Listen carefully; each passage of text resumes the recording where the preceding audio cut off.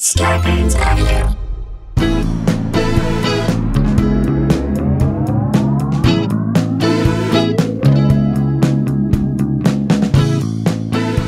Hey guys, welcome to another episode of Sklarbro Country, the virus edition, aka the Pandy Pods, AKA one egg, four legs. aka disclosing some feeble clowns who didn't reach Dumb People Town. I like it. That's it, Mike Huddleston. Three tables, four chairs, and in the back, some stairs. How about that? I feel like he's writing a Gordon Lightfoot song. What's he Jesus doing? Huddletron, Old Zealand, rocking out. Sundown, you better take care. If I see my Huddleston in my back stairs. Hey, Sklar Brothers here singing. We're happy to be here. Uh, it's Friday. We're heading into the weekend. We got stories for you. This is how we do. Try to give you 30 minutes, 25 minutes just to chill and uh, Catch your breath, Catch your really. breath. Catch your breath, guys. We need it. We need our collective breath to be caught. We're going to give you a little something to laugh about. Go after the assholes. Let's get into it Let's right do now. it. Now, I've been doing a lot of walking in my neighborhood recently. So have I. and Not in your neighborhood, in mine. no, but I know that a lot of people are doing that. Yeah. And It feels good. Go outside. Maybe that, that's how you. Maybe that's how you consume this podcast. clear your head. Uh, but a new hierarchy has emerged. I don't know if you've seen this, Jay. Yours is very hilly. Mine's So very I don't flat. see as much. You Yeah. don't see this as much, but the the walkers, there's the walkers, there are the runners, and then there are the cyclists. The runners kind of go where they please. right. And a lot of half of them have masks. It's a mixed bag. Some have masks. It's hard to run in a mask. Some don't. Right. but they're definitely like spraying stuff all over. Like definitely droplets go everywhere. Sure. Then there are the cyclists who don't care at all. Right. Cyclists do not give a f. They just don't care. They're just they go the opposite direction. They ride right into you. Nobody's wearing a mask. I They feel you, like it's impenetrable. As soon as you get on two wheels, Yeah. you feel like none of the rules apply. It That's happens right. with motorcycles too. Motorcycles, when they cut between two cars and cut all the way to the front of the line of they the don't long care. cars, They don't care. I like want to open my door and take someone out and be like, "You're not supposed to do this."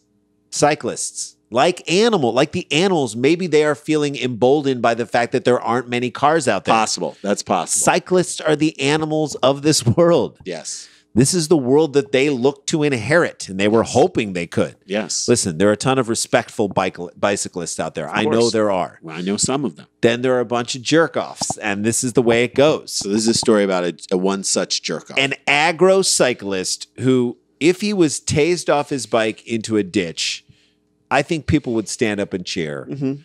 and potentially throw whatever garbage they have on the guy, and that would be okay. on his quivering body. Yep. Okay. On Friday, ACPD issued a community warning about a middle aged man who had, listen to what he had done, aggressively cursed at, mooned, What? and in some cases struck pedestrians in at least five separate incidents along trails in Arlington. Arlington, Virginia. I think so. This is near and the Arlington Cinema and Drafthouse, which I hope hasn't closed. An aggressive middle aged man. First of all, how old was he? We're 48. Are we middle aged? I don't know. I guess If we're in the middle of our lives, I don't and know. we if- are middle aged. I don't know if I want to live to 96. That's old.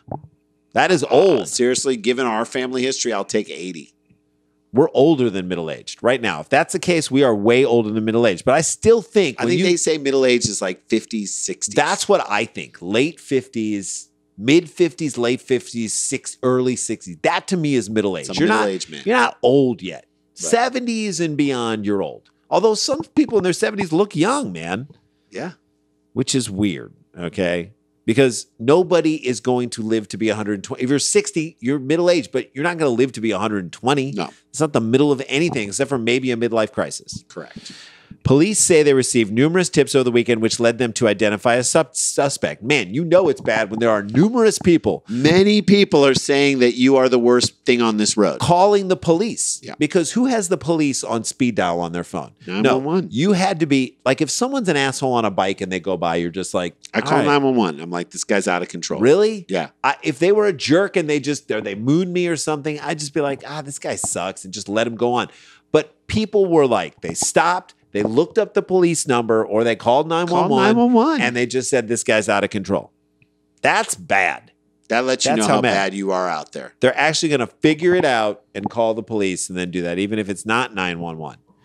this is it. Even the Karens of this world don't have the police's phone number. I mean, I guess they'll They call called 911. 911. You think that's, what, that's it is? what they did. I wouldn't even get hung up on this, Rand. They I'm called hung up on 911. I know, but like, or Google it quickly and say local police department. But I'm telling you, it doesn't matter. If someone is an asshole, you have two courses of action. If someone is out of control, Call you the have police. one course of action. If you're in a car, run them off the road. or if you're sensible, you call the police and let them do it. On the evening of Sunday, September 6th, police executed a search warrant at the subject's at the suspect's residence and took him into custody without incidents. What did his parents say? Lived- I hope that a couple of bike cops got him.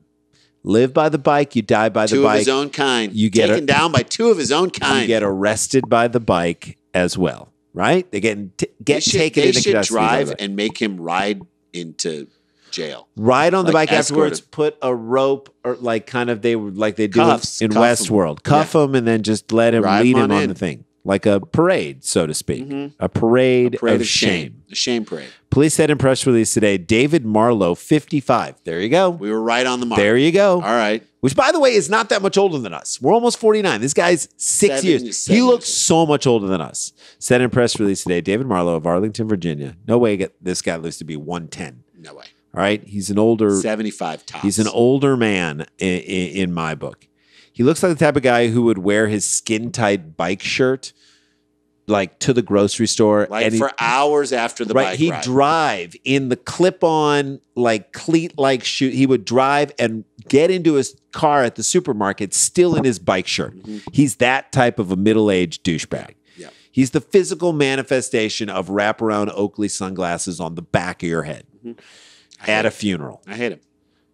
He was arrested and charged with robbery, assault, and battery, X3, indecent exposure, times five, and felony possession with the intent to distribute marijuana. Wait, what? Well, huh? Who is this guy? I certainly doesn't sound like a pot smoker. I'll tell you who this Sounds guy like a pot distributor. He sounds like the crime peddler, which to me sounds like a show on TNT. A guy who peddles around New York in 1912 in one of those bikes with the giant front wheel Uh-huh. and the tiny back wheel. And he just sells he just drugs. well he commits crimes as he goes down through the bowery and it's a show that they put on as a companion show to the alienist am i right Crime tnt peddler. crime peddler I like it. crime peddler it's the 19 and 12 Rizzoli Isles. Okay. he's being held in the arlington county detention facility on no bond yeah man no bond no for bond you. for you, dude. If you do this to fight, you're too much of a menace to society. he is accused of striking people several people in fits of rage attempting to steal one victim's cell phone exposing his buttocks on numerous occasions This bike rage.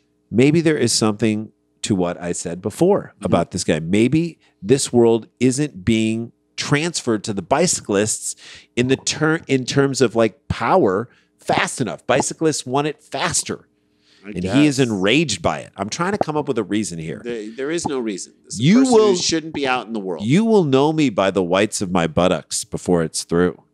And if you can't handle the moon, then get out of the way. Yeah. The moon Or- is your friend. give him your cell, cell phone. phone. That's it. The marijuana charge to me was n- was not further explained in the press release. Yeah, it doesn't sound like a guy on weed, does it? This is not.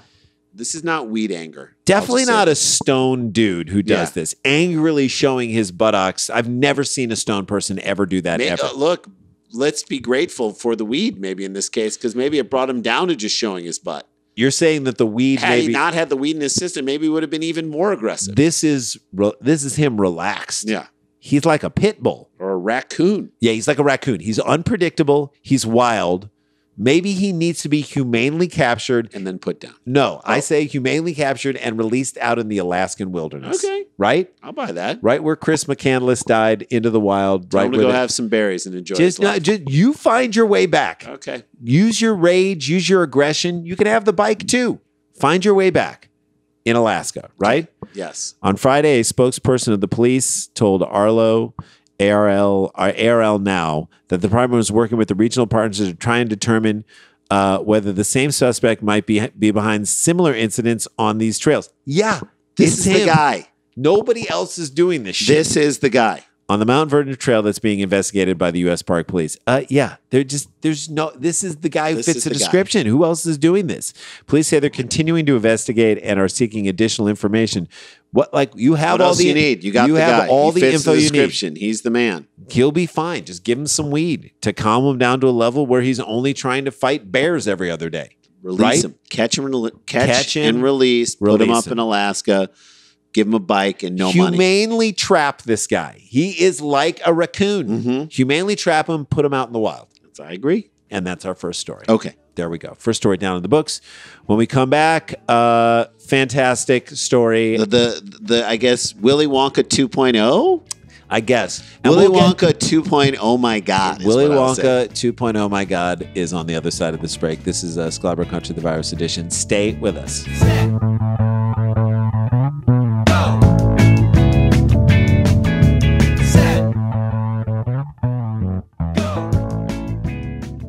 Hey guys, welcome back to the show. Uh, as we always are reminding you as we head into this weekend, I know these tickets are selling for the live Dumb People Town. If you want to come, we'd love to have you there. We had such a good time September last time. 26th, Saturday night, 6:30 p.m. Uh, West Coast time, all the way up to 9:30 p.m. Uh, East Coast time. That's the start time. Yep.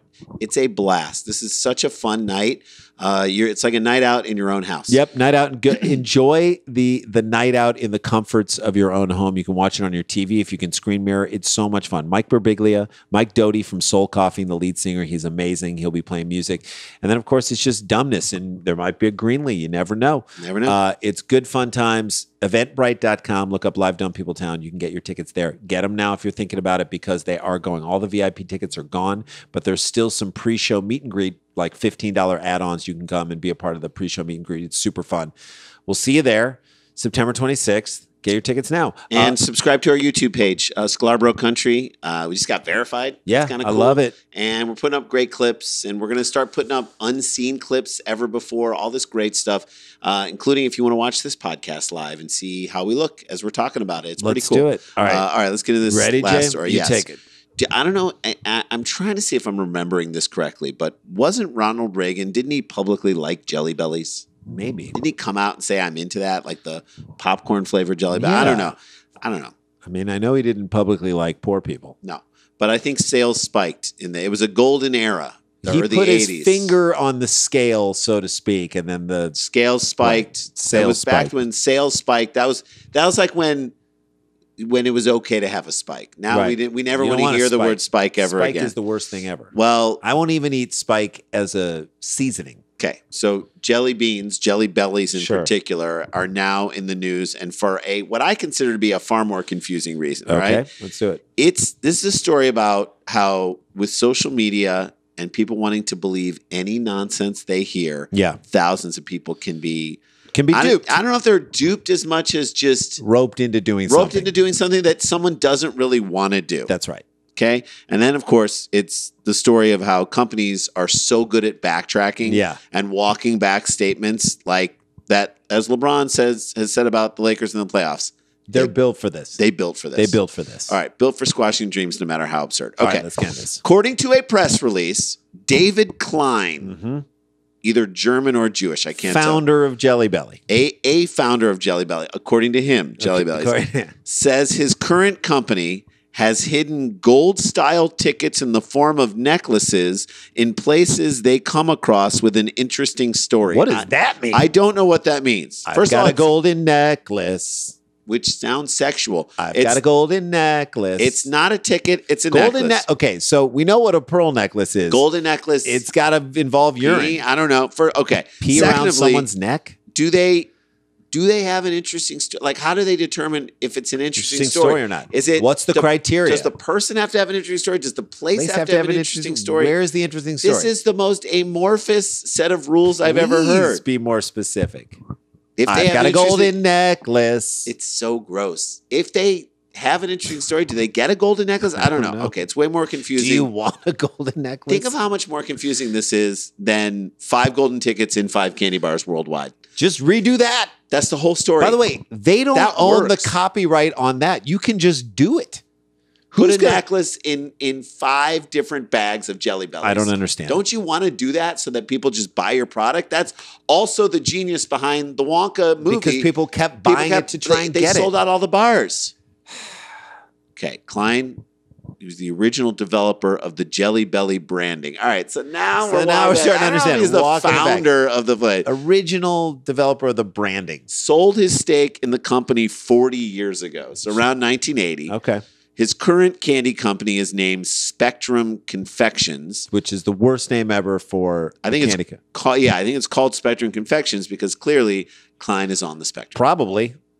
Maybe. And he's no longer affiliated with Jelly Belly. That's bad. When Jelly Belly kicks you out, a candy company is like, we can't be connected with this guy anymore. This you know, too crazy. That's right So he's giving out a key to a Jelly Belly factory, or I guess a Spectrum, Spectrum Confections Confections factory. And they make Jelly Bellies. All right, That's what they fine, make. All right. So I went to the Spectrum Confections site. you went They- on the spectrum. They basically sell Jelly Bellies. okay. They also advertise Jelly Bellies infused with hemp. Maybe this is the whole. okay. That's a good Now idea to we're- sell weed infused Jelly Jelly, Jelly Bellies. Bellies on a site Where kids can alongside- get wet Jelly Bellies. That's right. I don't know. I guess that's more in line with the original Charlie and the Chocolate Factory, which I don't know how often you've seen that It's movie. been a little while. I've seen it a bunch. Yeah. The boat scene into the tunnel. Oh, phenomenal.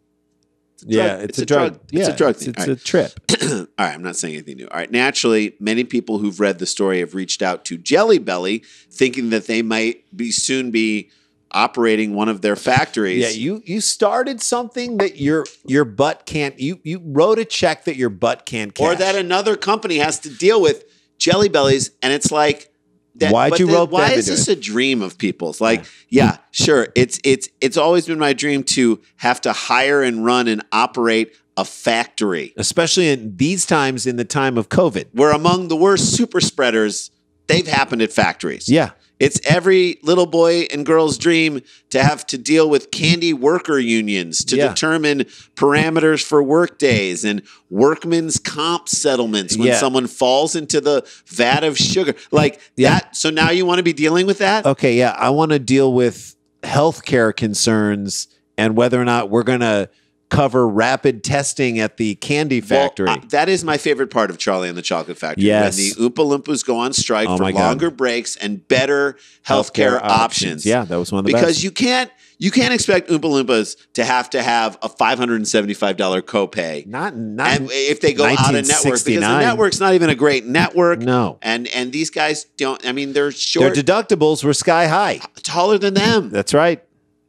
No one talks about that side of Charlie getting the chocolate factory. That's right. The year he had to like lay off a bunch of workers Oh to keep God. down the offset the kickbacks. He had to throw to the local politicians in order to get them to look the other way because of the pollution violations. Oh, no one talks about that. Yeah. That part of owning a chocolate factory, do they? When they're flying in an elevator up into the sky. Yeah. He, Willy Wonka forgets to mention that he's going to have to do deal with some shady politicians. How about the fact way. that on day three he never wants to eat candy again because he's sick of it? factories are awful places? They're terrible. Go read Upton Sinclair's book. The jungle. Watch Yeah. the documentary American Factory or eat in an old spaghetti factory. You can tell. You just see the disease everywhere. You'll see exactly what we mean. And there's nothing that a little kid loves more than having to make a public statement to a town that relies on that factory for its livelihood. That unfortunately, because of COVID and other issues, they're going to have to shutter their doors. Yep. So That's now your responsibility because you own this factory. a 10 year old kid has got to tell people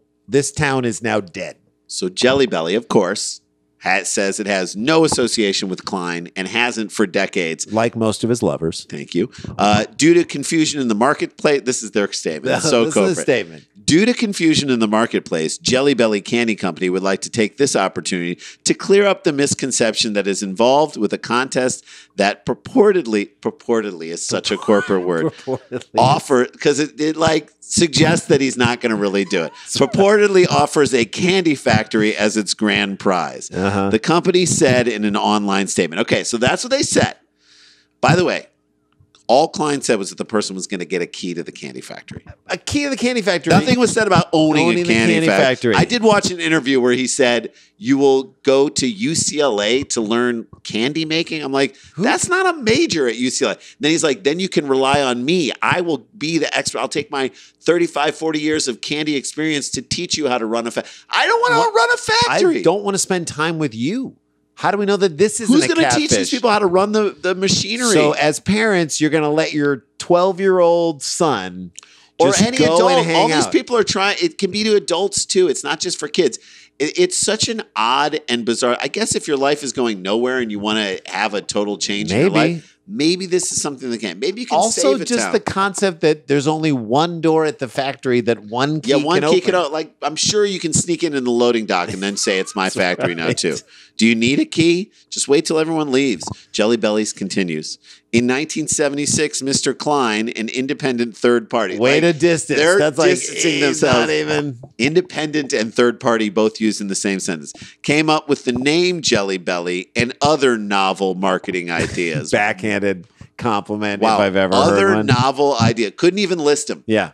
couldn't even list He came up with the name, guys, and then a couple of stupid things that we humored him with. some with. other dumb marketing ideas Yeah. we don't even tell hey you know what else is novel coronavirus Yeah. that's also been referred to as novel That's right. Nice use of the word novel.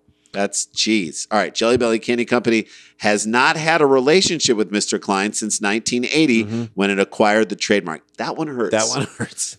has not had a relationship. Yeah. Is that so personal, Randy? They could have said no professional affiliation, but no relationship. has not a relationship. It's a rejection, right? Yeah. Oh my God. Look, Klein, I, I don't know what to tell you. This company is just not that into you. All right. That's, That's, what they're saying. That's it. According to Klein, those who wish to participate will need to pay an entry fee of about $50 to receive a clue in their state. Okay. This is now. It's, it's a money grab. but, but by the way, There's no you- magic But by the way, if you put the golden necklaces in the jelly bellies, people would spend fifty dollars to buy bags of jelly bellies. Easy. You're just going He about it the, the wrong. one. He took the one smart like business move out of the from that you could pull from the movie. And Charlie took it out. Took it out. Each treasure is limited to 1,000 participants. treasure hunt. I guess treasure hunt. Yeah, the first clue will be released in Georgia on September 30th, with more being revealed in the other states following months, according to news release. Great.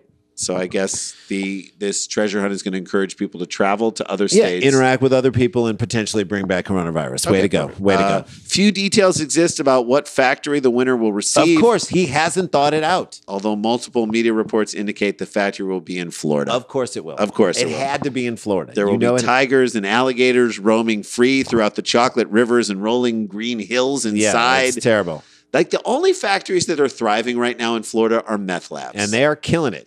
That's it. They are crushing it in Florida right And now. And this is what I got out of this story and why I feel like it's relevant for this podcast, Red. The whole thing to me is just a metaphor for what Trump is telling America. And he's been telling America from the beginning. I'm going to give you a golden necklace. right. Well, that's what he wants to do. That's right. Like- I'm going to piss all over your dreams. Like Klein, he is appealing to their sense of fantasy, their dreams. their hopes. yeah. And he's, I would argue that he's preying on those dreams. Yep. Because right now, who doesn't who doesn't want to live in a dream world instead of the real world? Yeah. The real world sucks right now. That's it. The problem is the people who can help us make the real world better, they can't be in the dream world as well. No. You can sell the dream to people so they can just get through it, but then while they're living in this dream and trying to get through it, you, You got to be work working it outside of the dream to try and make it better so that we can be done with this nightmare. They have to face reality. They can't buy into their own bullshit.